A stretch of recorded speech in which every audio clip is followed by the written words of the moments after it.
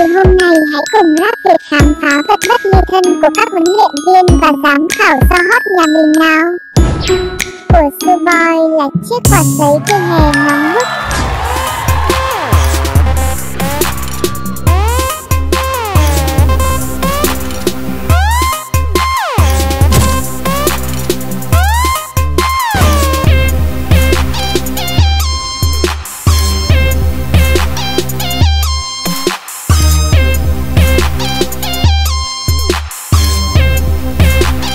cơ hội không phải là chỉ có một đường thẳng mà sẽ có rất là nhiều đường từ các hướng. That's why Su mới lại đứng lên dành với lại uh, tất cả mấy người này.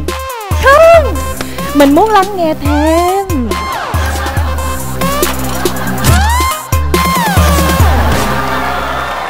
Của BMG là chiếc khăn hồng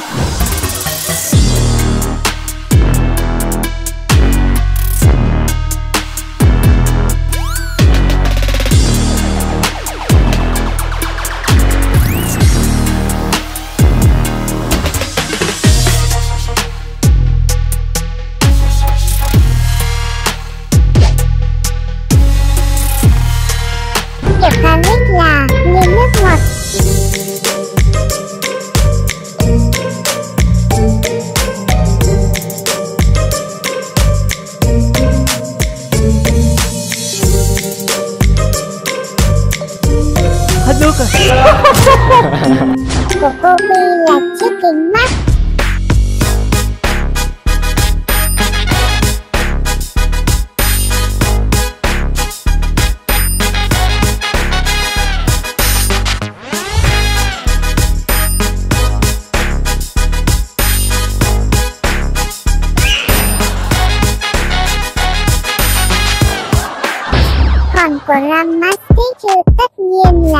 Là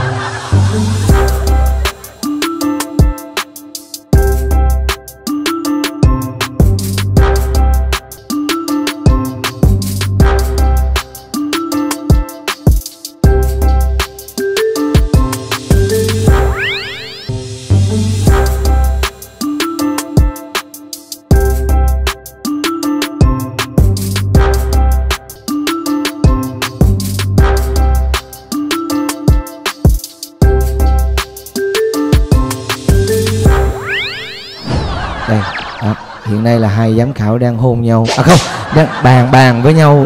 Em xin phép được hội ý với cả Ramastic một tí. Bây giờ không cho hội ý luôn.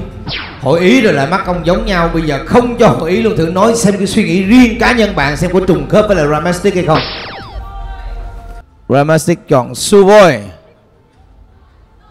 Thưa quý vị, thường là khi hai ờ, giám khảo chúng tôi hội ý Họ thường kề sát môi vào tai nhau. Không nhưng mà có vẻ rất là gần gũi và thân mật Em thì là một người có kỹ thuật rap rất là tốt, rất là ấn tượng rồi. Bên trong con người nhỏ bé là một con quái vật đang chờ được đánh thức. Một trong hai huấn luyện viên này sẽ có một người có khả năng đánh thức được con quái vật đấy của em lên một cách hiệu quả nhất. Và bọn anh sẽ lựa chọn một, hai, ba.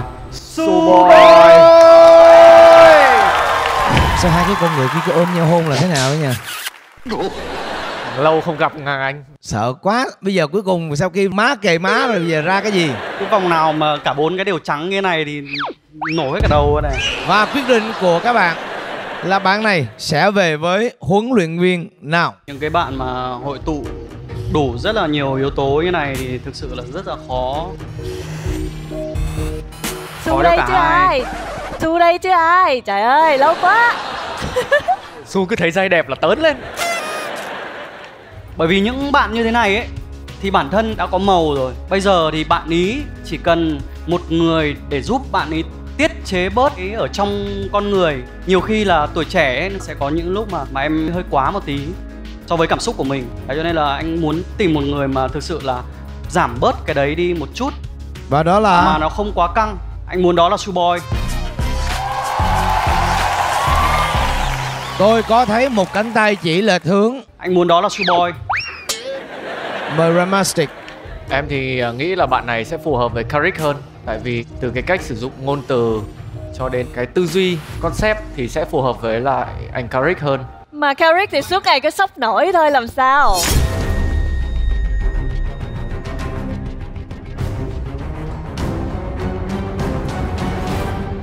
Em muốn tìm một bạn mới hay là em muốn tìm một bạn Caric thứ hai? No Không, bạn này sẽ không thể nào trở thành một Carrick thứ hai được bởi vì bạn ấy đã là một bản thể chuẩn của bạn ấy rồi.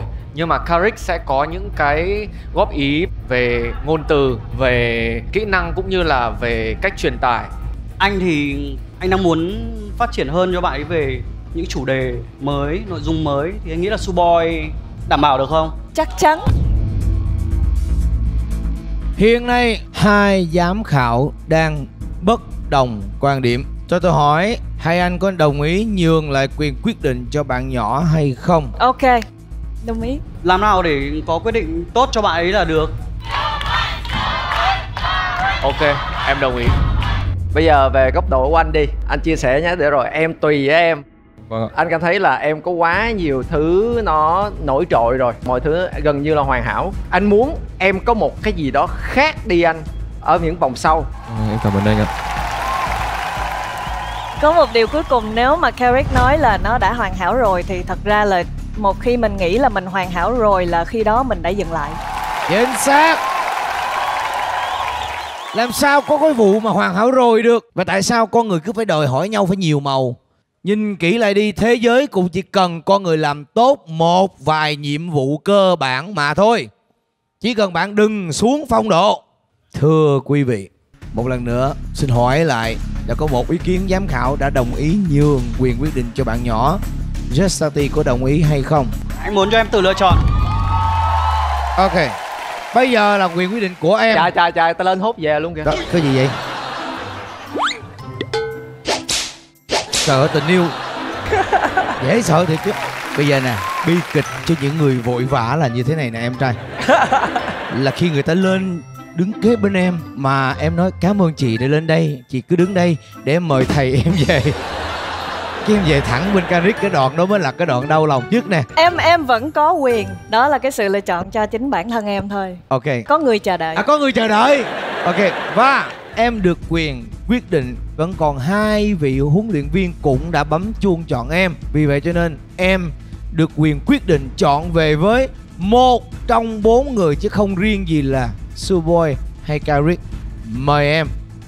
Ờ, thực ra thì bốn vị uh, huấn luyện viên ở đây thì từng người sẽ là những cái người mà em rất thích nghe nhạc qua từng thời kỳ.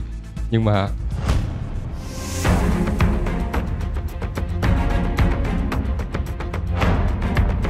Sao em đưa quyết định đi em Đưa quyết định đi em cái cái này rất khó. đấy em hiểu cảm giác của bọn anh ở trên này chưa Bây giờ trong lòng em khi mà em đến đây em vì ai Chọn con tim hay là nghe lý trí Ờ, em quyết định chọn chị Suboy ạ. Chọn chị Suboy ạ. Chúc mừng em về với đội Suboy 20 giờ thứ bảy chỉ có trên HTV2 V Channel. Beyond luôn ở bên bạn mọi nơi, có trên điện thoại, máy tính bảng, máy tính cá nhân, TV thông minh, giải trí mọi lúc mọi nơi. Beyond không thể rời mắt